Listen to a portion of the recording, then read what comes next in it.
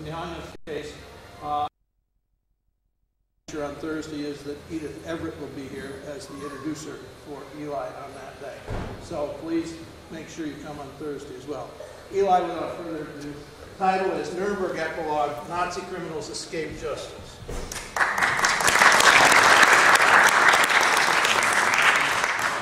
Good morning. Thank you, Doug. Uh, uh, can everyone hear me? Yes. Uh, uh, it's, it's great to be back in, in this idyllic location. Uh, special thanks to the Robert H. Jackson Center uh, for, for bringing me and, and my wife Cynthia back to Chautauqua this year. it's a remarkable institution. any of you who, hasn't, who have not been to Jamestown to see the Jackson Center, you really are, are missing something very important and, and you need to do it. Uh, thank you, uh, Doug Neckers, Professor Doug Neckers, who did most of the heavy lifting for this uh, wonderful study week here in Chautauqua, to Greg Peterson, to um, uh, Carolyn Rod Drake um, of, of, the Jackson Center, to our wonderful hosts, um, Jerry and Marshall Pops at the Everett Jewish Life Center, to Edith Everett for creating that magnificent center that in just a, a few short years has become an essential part of the fabric of, of life at, at Chautauqua, and also to my good friend, Professor John Barrett. My subject this morning is the post-World War II escape from justice of the perpetrators uh, of the Holocaust and other Nazi crimes.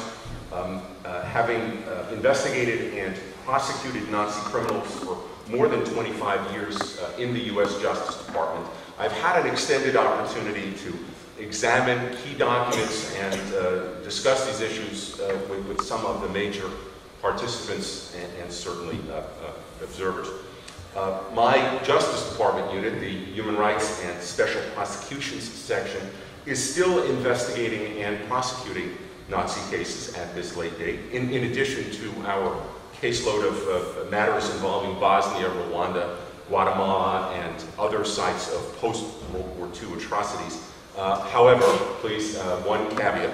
Uh, the opinions and conclusions I'll offer this morning do not necessarily represent uh, the views of my employer, the United States Department of Justice. Indeed, much of the subject matter that I'm about to discuss has never come within the purview of the Justice Department uh, in, any, in any fashion, as I think will, will be obvious. Let's get started Uh, as Allied troops fought their way uh, across Europe in 1944 and 45. Uh, they came across terrible scenes of atrocities such as, as here. This is the Nordhausen concentration camp in central Germany. Uh, thousands and thousands of inmates were, were slaughtered there uh, or succumbed to the uh, terribly inhumane conditions. One of the little known or, or lesser known features, so to speak, of Nordhausen was that there was an underground V-2 missile factory not far from the camp in which Nordhausen inmates were worked under grotesquely inhumane conditions to build the very first uh, long-range missile, a missile that uh, wreaked destruction on uh, London and Antwerp and, and, elsewhere. And these poor inmates uh, forced not only to work under these inhumane conditions, which caused them to perish in, in large numbers, were forced to work on weapons that they knew would be used uh, against uh, civilian populations against the Allies. The operations director of uh, this underground factory known as the Mittelwerke, the Central Works, again located under Kohnstein Mountain near the concentration camp, was Arthur L.H. Rudolph. You see him here in his uh, wartime Nazi identity uh, booklet. Uh, his photograph, of course, there's a couple of swastika stamps in, in circles. Uh, uh, he helped run the place. In fact, it was his idea. We have captured Nazi documentation proving this. His idea to use concentration camp inmates to build these, these weapons, and that alone uh, uh, makes him complicit in a, a, crime against humanity. People were uh, uh, convicted at Nuremberg, like Albert Speer, for doing that. Well, um, as the Allies came across these terrible scenes, uh, they were rounding up the, the most senior uh, Nazi leaders, Nazi criminals, and they were initially, the most senior of them, confined in a facility codenamed Ashcan. It was, in fact, the uh, former Palace Hotel in Mondorf-sur-la-Bain, sur Luxembourg, and, and you can see it here in this, in this still. That's what it looked like before the war. Uh, Hermann Goering and other senior Nazi figures were, were held there and were questioned there. Uh, in August of 1945, uh, they were uh, required to uh, gather for a, a, group portrait.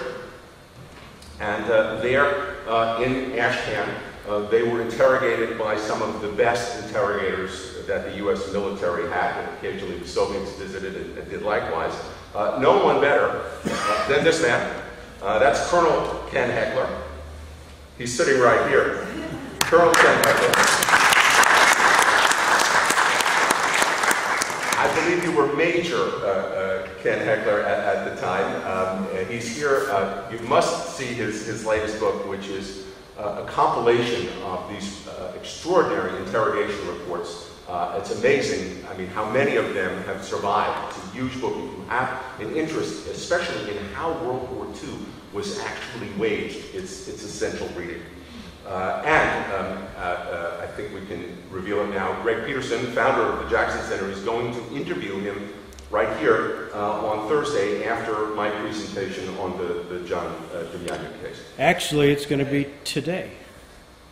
Today? today? After I speak, sorry. It'll be today, so don't leave. Don't tell uh, No matter how boring Don't tell anybody, that's highly secret. Okay, don't want to tell us all.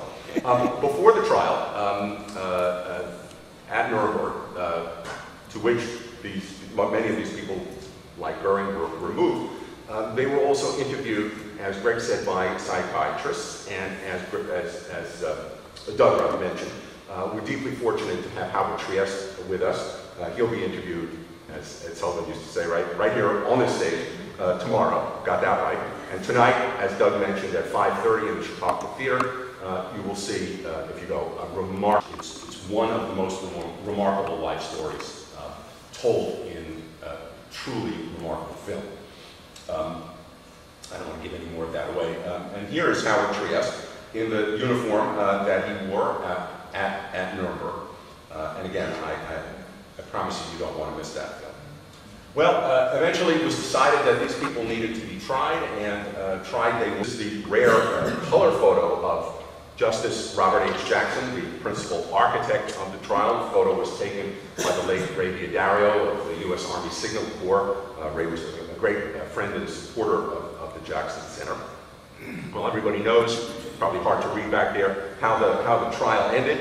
Uh, most of the Nazi criminals were convicted. Uh, quite a number were executed and others were sentenced to varying uh, terms of imprisonment. There were Trials subsequently held by the United States, by uh, the Soviet Union, by the British government, and also by the national courts of the formerly occupied countries, including France. Altogether, thousands of Nazi criminals were convicted in post-war Europe. Uh, many of them were executed or sent to prison. No one knows the exact number, uh, in particular because the Soviets were always very secretive about that. They did not allow uh, Westerners to have access to their files. One of the better estimates I've seen is that something in the range of about 7,000 Nazi criminals uh, were prosecuted. Uh, an example of the post-Nuremberg, that is, after the very first Nuremberg uh, trial, the post, um, the so-called subsequent Nuremberg trials before U.S. military tribunals, is the case of uh, uh, the Einsatzgruppen leaders, the surviving uh, leaders of the notorious Nazi mobile killing units. That, that uh, case which was at that time the biggest murder trial in history involving more than one million uh, men, women, children, and babies methodically shot to death uh, in the former Soviet Union. That trial was uh, uh led by uh, Benjamin Ferencz. Uh, ben is, thank God, still with us, also a great friend of the Jackson Center. He's, he's been at the center many, many times. Um, here's an example of what um, those mass shootings look like i don't believe this is, uh, not, i don't recall whether this is in fact one of the Einsatzgruppen, but that's what those horrible scenes look like. Um, one of the uh, worst of the defendants in that trial uh, was a man by the name of uh, Martin Sandberger. Uh, there he is uh, as a prisoner at Nuremberg. he commanded a unit of Einsatzgruppe A. Here's an excerpt from his Nuremberg testimony in which he's questioned about carrying out in Estonia Hitler's order to eliminate all Jews, gypsies, and communist functionaries. Question, You collected these Jews according to the basic order, didn't you? The Hitler order. Answer, yes. And then they were shot. They were, shot, weren't they? Isn't that right? Answer, yes. By members of your command?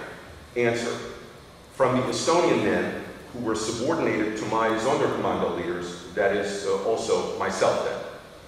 Question, then in fact they were shot by members under your command? Answer, yes. Then, as a result of the Fuhrer order, these Jews were shot? Answer, yes. Martin Sandberger was convicted and sentenced to death in 1948. All of his appeals failed as well they should have. Well, the uh, uh, Allied enthusiasm uh, for uh, pursuing justice largely came to an end as 1948 itself came to an end. Was that because most of the part- most of the people who had participated in the perpetration of Nazi crimes against humanity had been brought to the bar of justice? Uh, the answer to that question, sadly, tragically, uh, and I can say emphatically, uh, is no.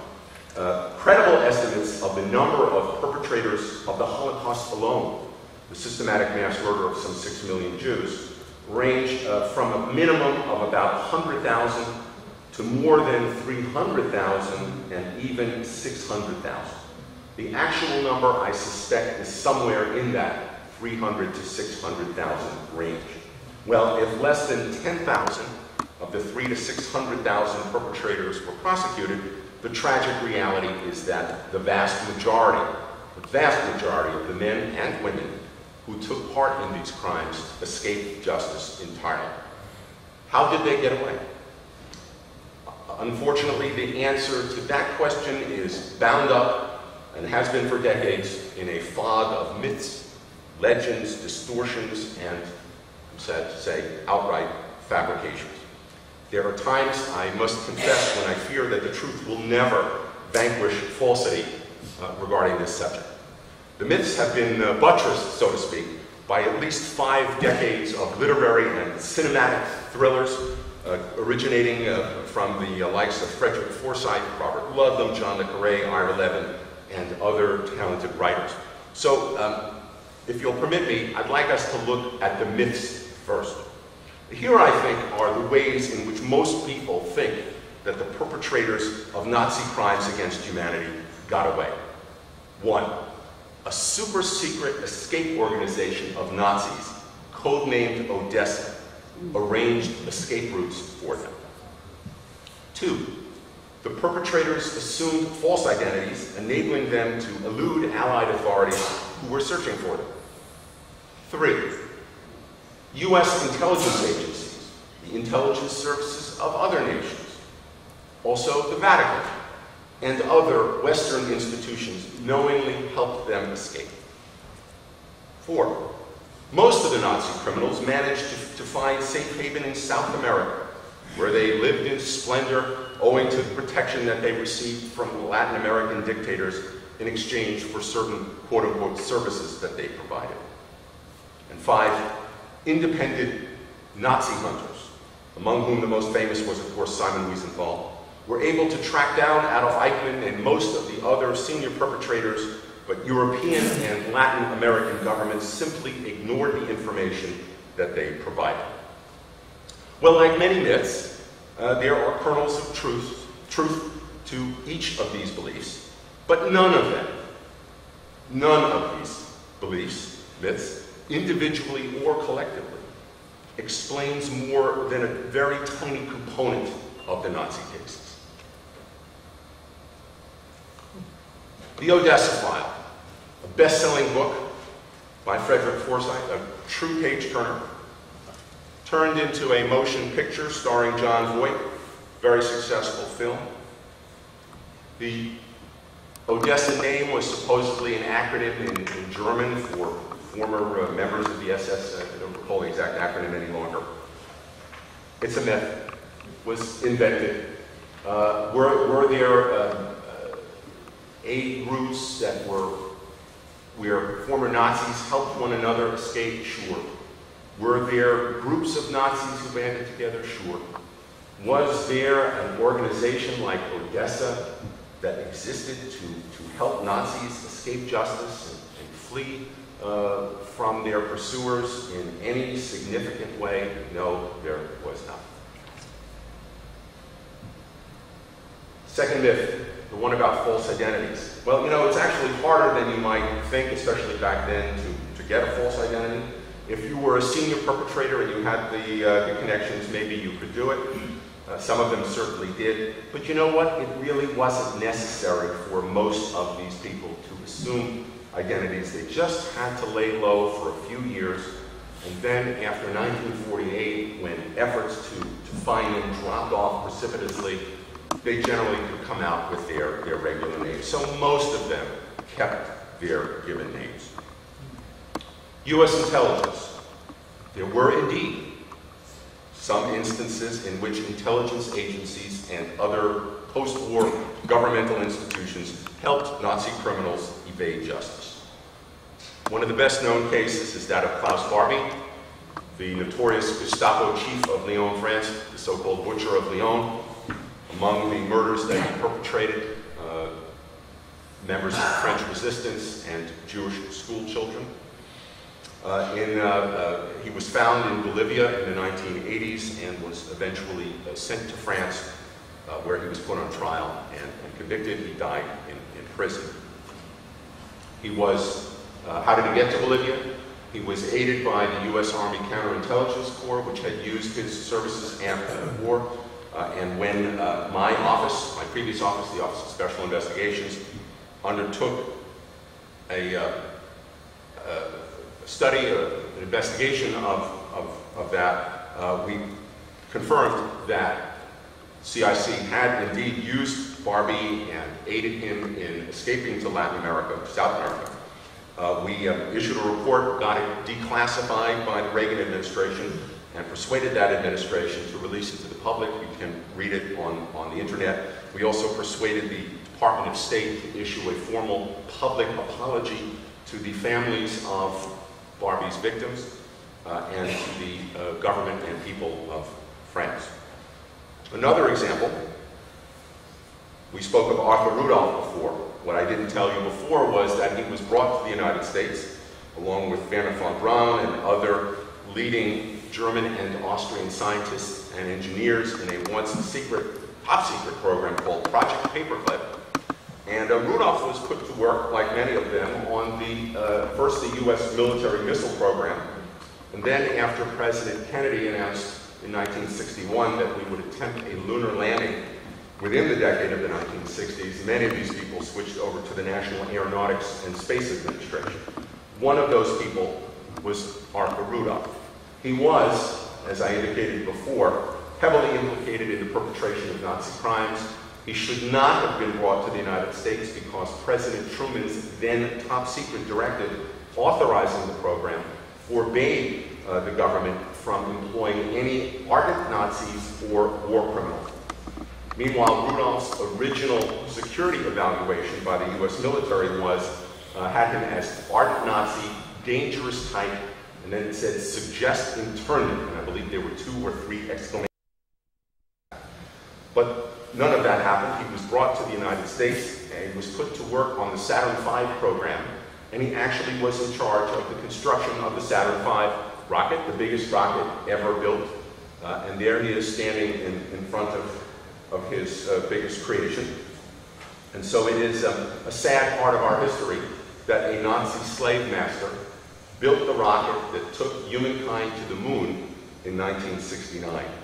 Uh, my office found him in the early 1980s. I questioned him after uh, directing the investigation that unearthed a great deal of incriminating information, including his own interrogation uh, that was conducted for a post-war trial of Nordhausen perpetrators.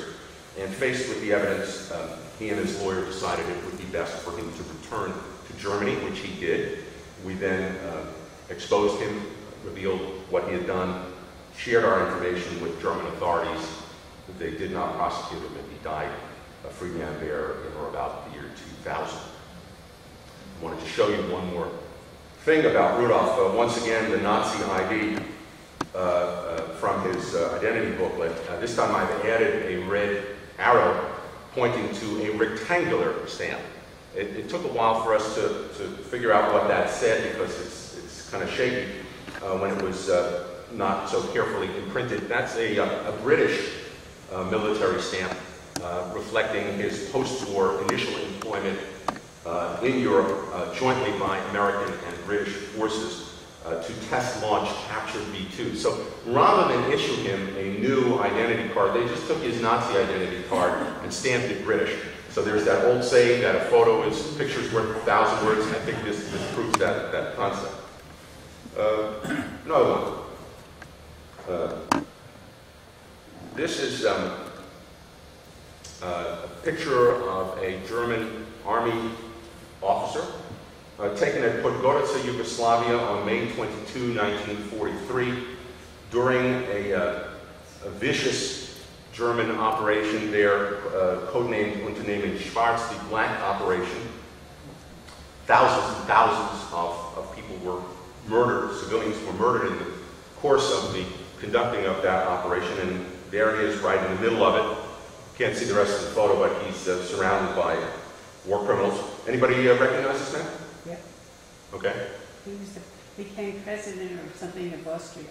that's exactly right. It's uh, Kurt Waldheim, uh, who uh, spent the 70s as Secretary General of the United Nations, where he liked to call himself the Chief Human Rights Officer of the planet Earth.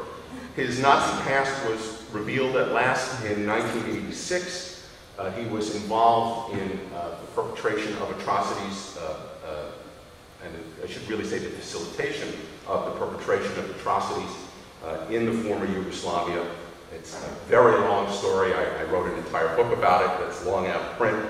Um, as a result of the disclosure of his Nazi past, uh, some of you will remember that Waldheim was formally barred uh, by the United States in 1987 from ever re-entering this country. Uh, and that was in particular on, on the basis of uh, proofs that were assembled by my former office. I, was accused from, from that matter because I was involved in the Waldheim uh, affair, so to speak, uh, outside the Justice Department. Um, the, the revelations, by the way, included uh, discoveries that Waldheim had been charged as a Nazi mass murderer after the war by Yugoslav authorities and had even been listed in 1948 as a wanted war criminal by, believe it or not, the United Nations War Crimes Commission. So how did he become the chief human rights officer of the planet Earth in 1971? And how did he serve two full terms as Secretary General through 1981 without the truth coming out until five years after he left office and was running uh, successfully for the presidency of Austria? Uh, the answer is the Yugoslav government knew the truth, but they covered up for him. So did the Soviets. In fact, in the 1971 elections to succeed U Thant at the United Nations, the Soviets basically vetoed every other candidate, including, to the surprise of many, uh, the Finnish ambassador. After all, back then, um, Finland pretty much had to uh, had to do whatever it, it was necessary to uh, avoid conflicting with the Soviet policy. Uh, so you would have thought that the Soviets would be delighted to have a Finn as UN Secretary General, but no, they wanted Waldheim. Of course, the Finnish ambassador, uh, Max Jakobson, uh, had the additional disability, so to speak, of, of being a Jew. Uh, well, why did the Yugoslavs and the Soviets cover up for him? Uh, I believe it was to promote Soviet and Yugoslav intelligence operations in the United States. Back then, uh, the UN was probably the principal base for communist intelligence operations in the United States. My uh, long ago book on the Waldheim case explains the logic of this and, and the proofs of this. It's long out of print, but used copies are widely available on the internet. So yes, in some, there were instances in which post-war governments used Nazi criminals and helped them escape justice. I, I could certainly cite other examples. Sometimes, in doing these things, governments knew the truth.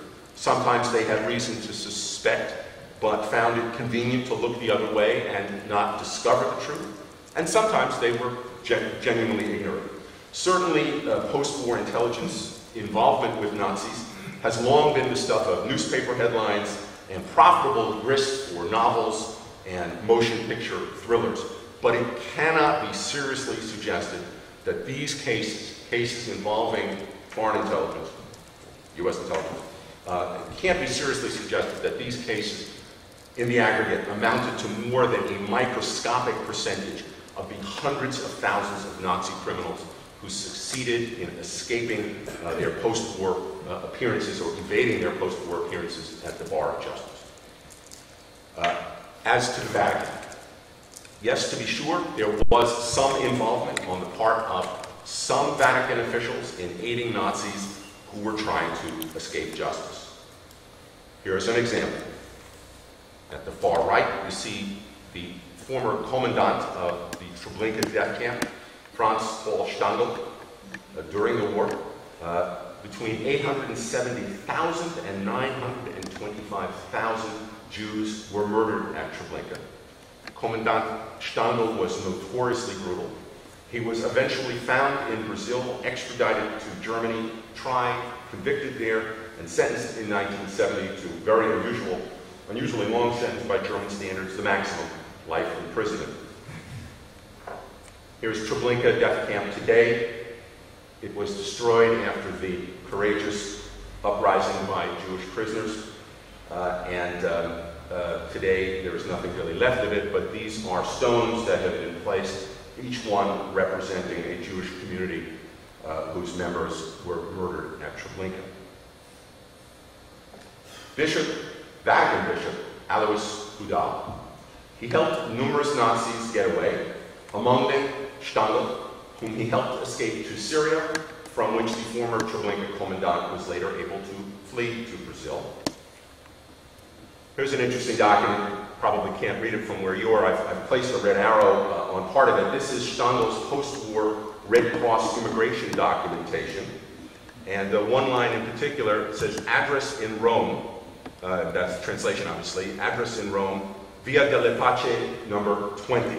Well, that turns out to have been Bishop Hudal's residence in Rome.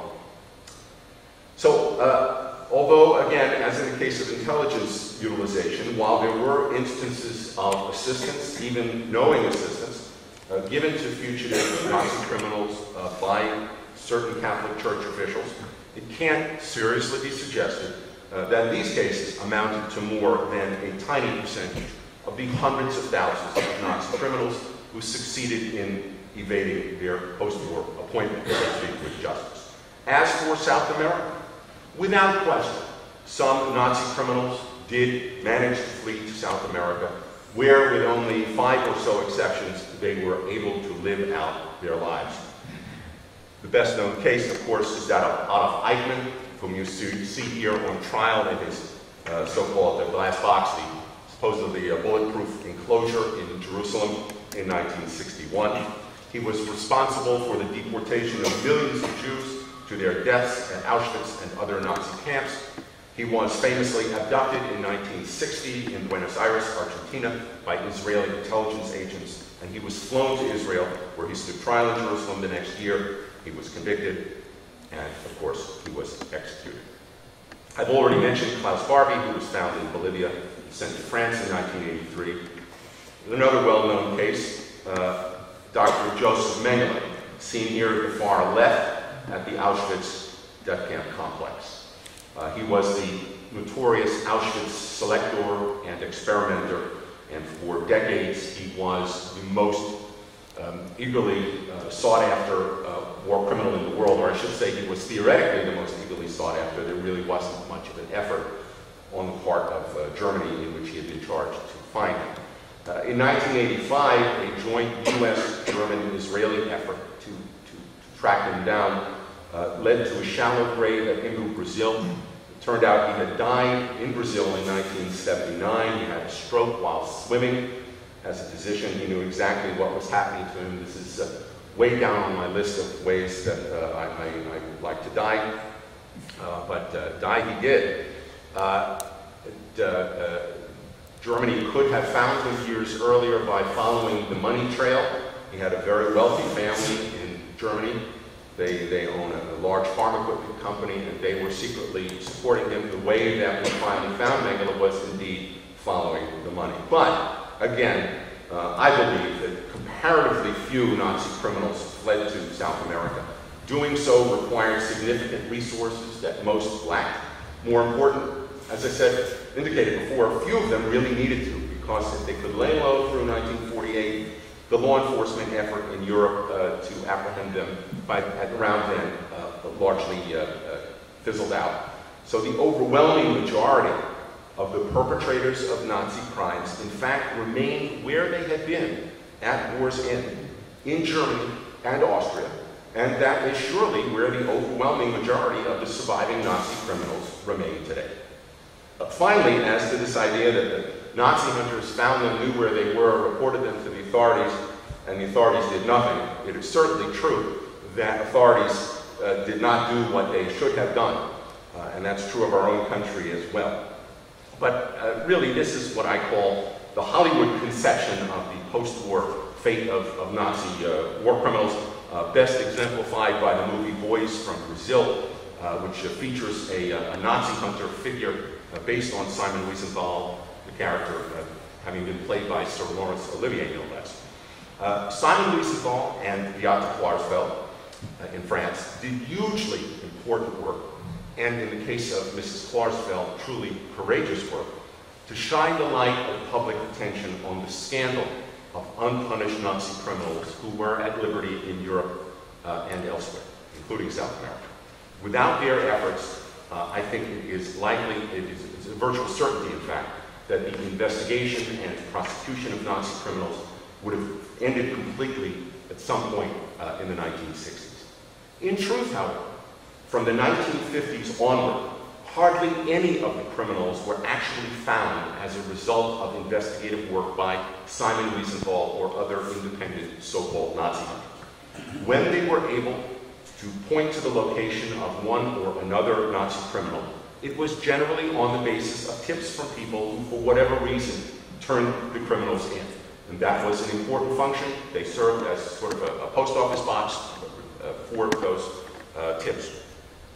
What I consider the, to be the legend of the Nazi hunters uh, is principally traceable to, to one case, that of Adolf Eichmann. Simon Wiesenthal catapulted, catapulted to worldwide fame in the early 1960s on the basis of his purported role in Adolf Eichmann's 1960 apprehension in Buenos Aires.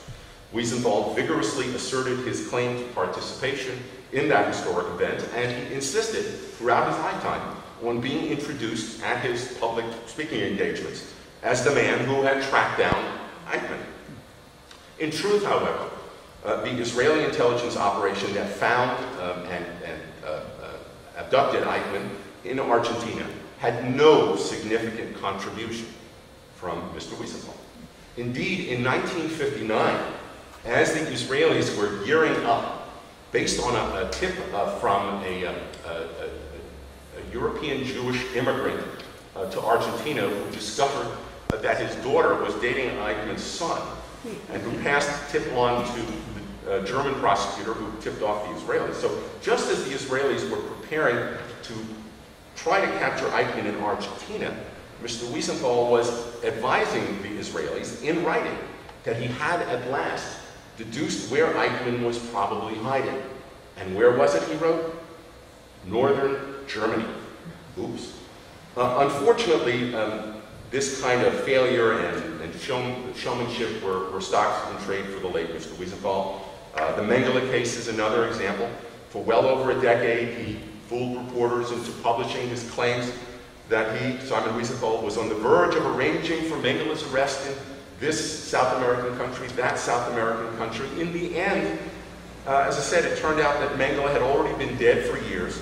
And by the way, that he'd been living in just about the only country of South America that Simon Wiesenthal had not identified as his hideout, Brazil. For anyone who's, who's interested, uh, the subject of, of Mr. Wiesenthal's claims is addressed at considerable length in my 1993 book on the Waldheim affair, and I also explain why it was that Kurt Waldheim's principal public defender was Simon Wiesenthal. Well, so much for the misconceptions and, and myths. How then did the vast majority of perpetrators, Nazi perpetrators, escape justice? There are principally, in my judgment, two, two, two, two explanations for what happened. Two factors. The first factor is the onset or the revival uh, after World War II of the Cold War. The hot war in Europe had ended, and actually the Cold War re-erupted even before the hot war ended. Uh, East-West tensions brought an end to cooperation in pursuing Nazi criminals. Not entirely surprising since East and West were, uh, even in, in uh, uh, 1945, in the closing days of the war, competing to see who could get the best, so to speak, of the Nazi scientists and engineers. So it brought an end to the cooperation that we had seen after the great international trial at Nuremberg, in which this country was so brilliantly represented by Justice Robert Jackson. A formally classified British government document is emblematic of what happened. In this 1948 document, uh, His Majesty's government explains that uh, the United Kingdom is going to end the its, its efforts to prosecute Nazi war criminals uh, by the end of 1948. And the, uh, it's a cable that goes to the uh, foreign uh, offices of the Commonwealth countries that were involved in uh, waging the war in Europe, Canada, Australia, New Zealand, South Africa, India, Pakistan, and Ceylon, former Ceylon. Uh, and uh, so they write, in general, no fresh trials should be started after 31st August 1948. This would particularly, it says, affect cases of alleged war criminals not now in custody who might subsequently come into our hands. And it explains uh, that uh, this is necessary because um, of uh, future political developments in Germany, meaning East and West need their half of Germany to fight the Cold War. And um, it includes this remarkable uh, sentence that because of these developments, quote, we, I, am always tempted to say this in British English, but I'll, I'll, I'll restrain myself. Uh, we are convinced, it says, that it is now necessary to dispose of the past as soon as possible. And that's exactly what happened. The British stopped trying cases, the Americans stopped trying cases, uh, and the Allied prosecution effort came to an end. This uh, cessation of cooperation uh, in pursuing justice on behalf of the victims of Nazi crimes had huge implications, by the way, for U.S. immigration policy. A large percentage of the Nazi criminals who immigrated to the USA after, uh, I'm sorry, in the late 1940s and in the 1950s, at least hundreds of, of people did that, hundreds of Nazi criminals, had perpetrated their crimes uh, uh, in uh, formerly German-occupied parts of the Soviet Union and the Baltic countries. Uh, the surviving Nazi documents uh, that proved their complicity in Nazi crimes had uh, frequently been captured by Soviet forces on those territories or in Poland or elsewhere, but the Western governments and the Soviets weren't cooperating in, uh, as, uh, in the vetting of, of would-be immigrants to the West. And so at least, at least, as I said, hundreds of Nazi criminals were able to evade detection and immigrate to this country, to Canada, to Australia, and other, and Britain, and other Western countries, because the proof of what they had done reposed in Soviet-controlled archives, or Warsaw Pact-controlled archives, or in Yugoslavia, and we weren't permitted to have access to that information. A good example is this man, Jakob Reimer, an ethnic German Volksdeutscher from Ukraine who immigrated to this country in the early 1950s. In this slide, you see him in his uh, 1942 SS identity photo from uh, the uh, SS training and base camp in Nazi-occupied Poland, and also in his 1952 United States immigration visa photo.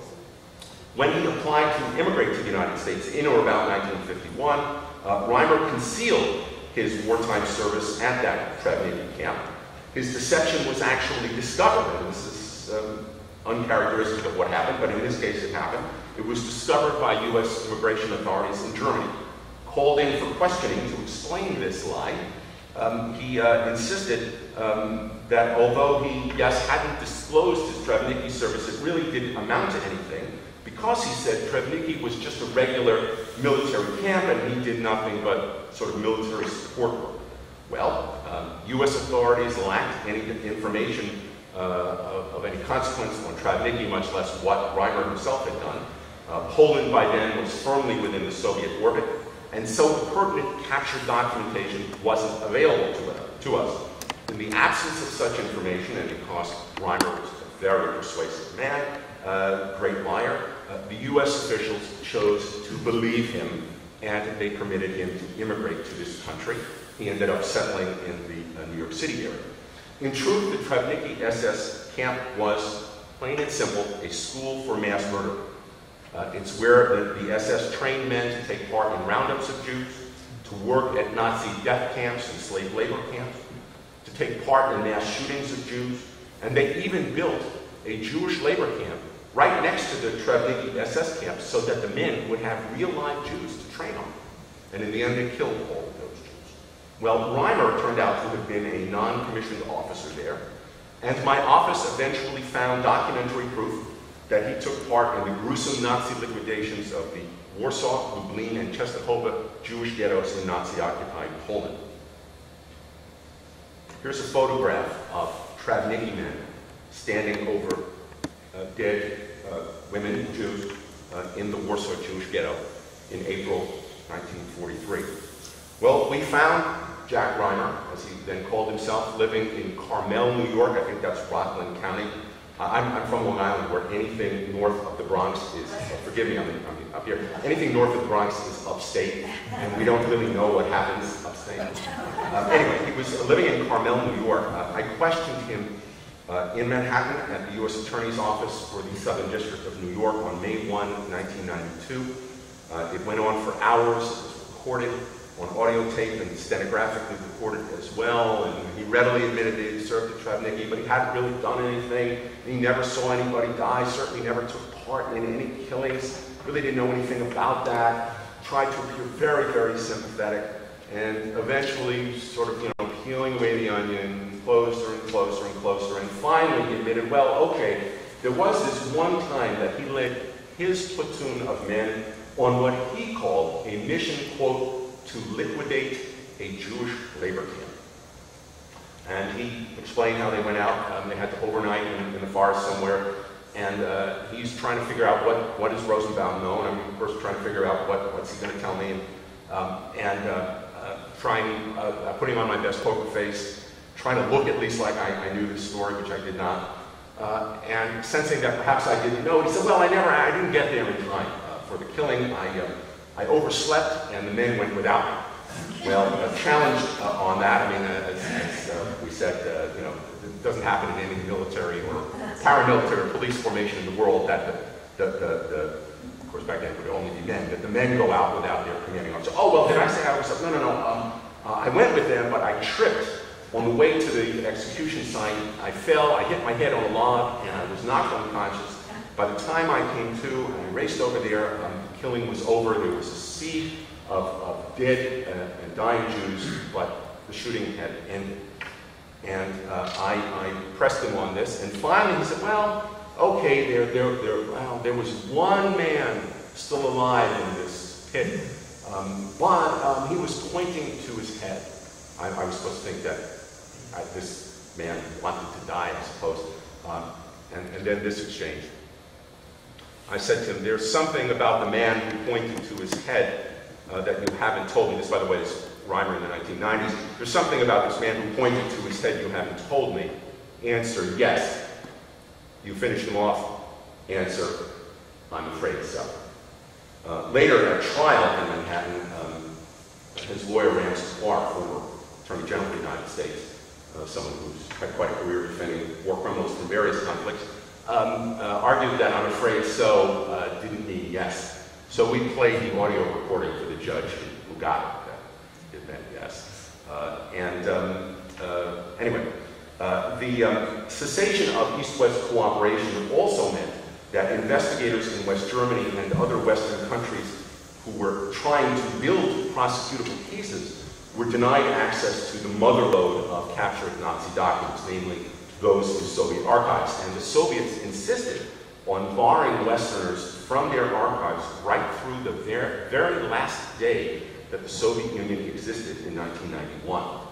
And by the way, when the Soviets from time to time exposed a, publicly exposed a Nazi criminal in the West, something that they did with particular frequency in the 1960s and 1970s, um, uh, in part, I think, to uh, respond to um, very compelling assertions made by Western governments concerning Soviet human rights violations. When, when those accusations were made, they tended to be dismissed as Soviet propaganda. In fact, the very first of those allegations, which was made against a man uh, named Karl Linnas, who lived in uh, Greenlawn, Suffolk County, Long Island, uh, I remember uh, pulling up the uh, uh, article in the Long Island newspaper Newsday in 1961 that reported on that exposure, and the headline of the article, published right above an Associated Press piece offering continuing coverage of the Eichmann trial. The headline was something like, Reds, remember those days? Reds accuse Long Islander of Nazi crimes. Uh, and how long did it take before the Justice Department finally investigated the case, uh, got the evidence, and saw fit to prosecute Karl Linnas? Almost exactly 20 years. It wasn't until after my office uh, was created in the Justice Department in 1979 as a result of congressional pressure uh, that that happened. And we prosecuted Linnas and succeeded and returned him to the Soviet Union, um, where he died before he could be tried. Now, it has to be said uh, that Soviet propaganda efforts were conducted often with a very heavy hand, and uh, they are, uh, for that reason and some other reasons, not entirely blameless, so to speak, in the phenomenon of Western uh, suspicions of, of their accusations. The intensifying Cold War also gave great leverage to those of um, those in positions of power in post-war West Germany who wanted to secure the release of Nazi criminals who had been convicted, uh, imprisoned, and sometimes sentenced to death by the Allies. A good example is uh, that of an individual we previously discussed, uh, SS Standartenführer Martin Sandberger, the Einsatzgruppe leader who was convicted by our dear friend Ben Ferencz in 1948 and sentenced to death at Nuremberg. Well, as a result of pressure applied by German officials all the way up to the office of President, then President Theodor Heuss, uh, U.S. authorities agreed at first to commute his Nuremberg death sentence to life imprisonment. And then they succumbed to further pressure to commute his sentence to time served. And as a result, uh, one day in 1958, Martin Sandberger walked out of Landsberg prison in Germany as a free man and eventually settled in Stuttgart.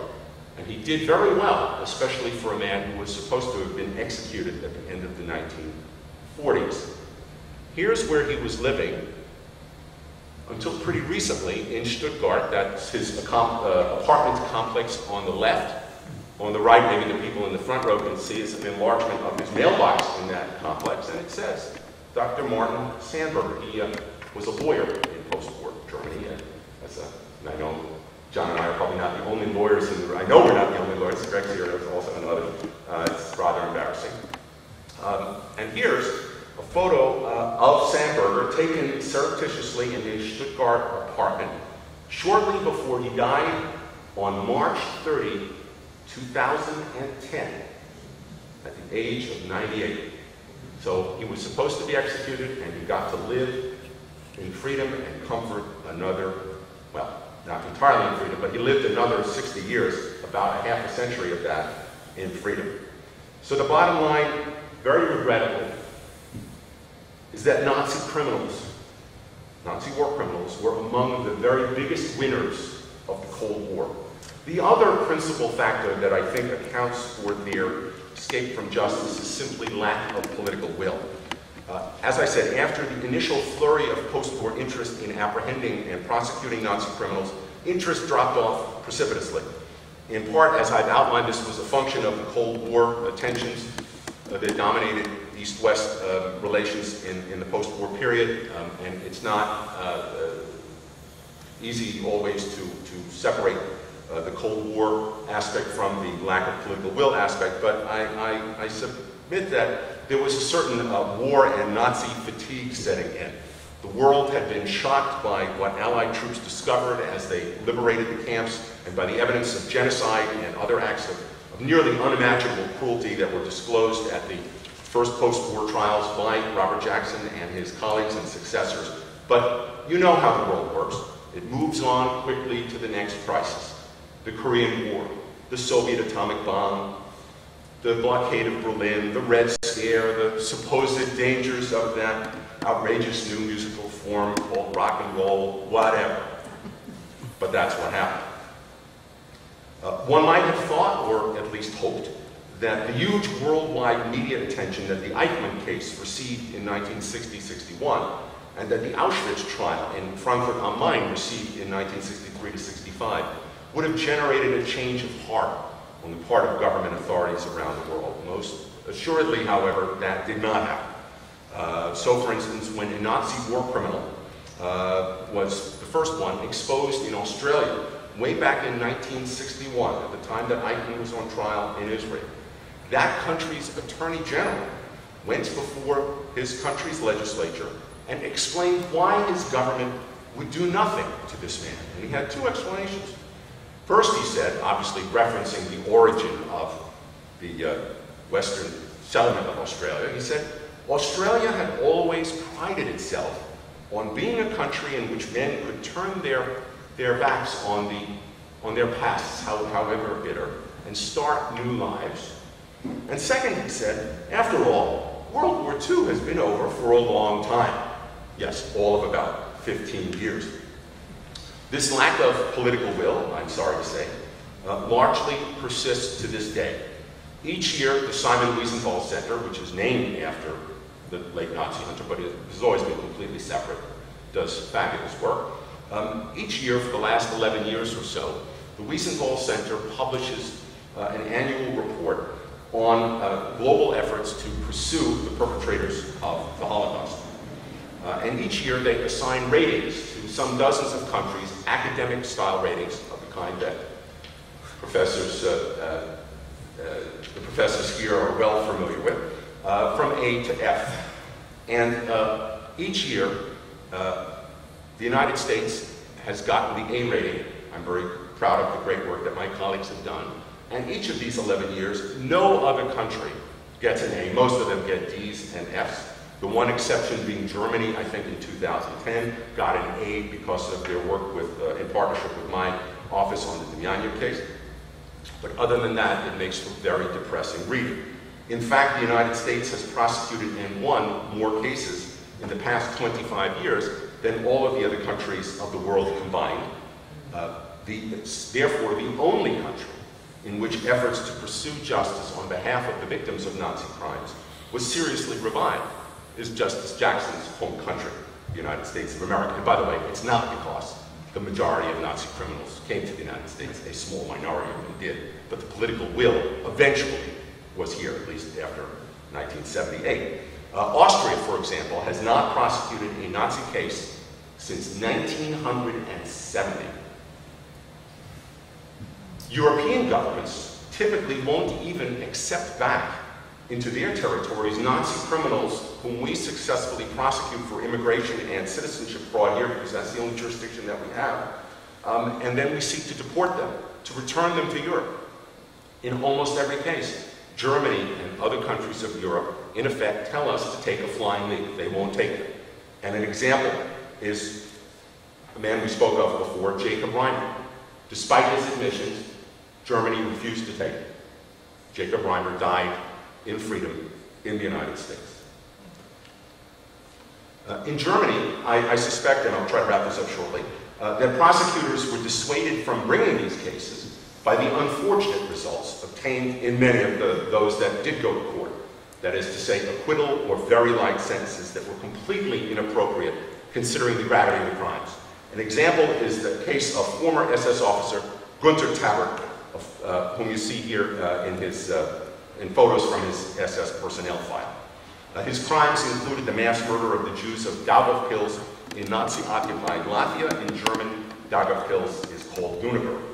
Uh, on November 9, 1941, Tabbert and a mixed force of German and Latvian uh, personnel swept into this little town where the Jews had already been confined in a ghetto. They ordered the Jews out into the town square, machine gunned them to death using dum-dum bullets, tearing their bodies apart, went up into the apartments to find those who would not come out or could not come out, and killed them, including babies, where they found them.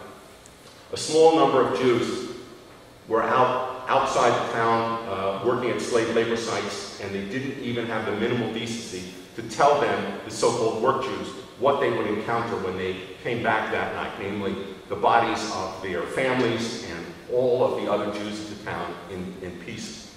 Um, an almost uh, uh, inconceivably gruesome sight. And on November 11, 1941, Tabbert wrote a report on that operation, and it's just three sentences. Here's the report. If you don't mind, I'll read the three sentences in English translation. It's entitled Jewish Action Unaktion in Dünaburg. On 9 November 1941, 1,134 Jews were executed in Dünaburg. By the way, no Nazi here, no uh, final solutions, anything like that. Executed. And the word in German is almost the same. Exekutiert.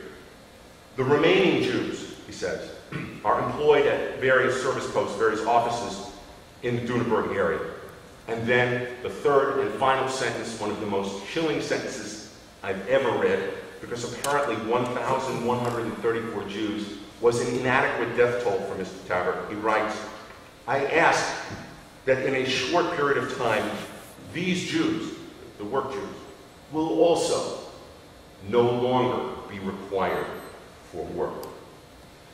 In 1993, Mr. Tabbert, who uh, was free in Germany, uh, made the mistake of uh, coming to the United States as a tourist.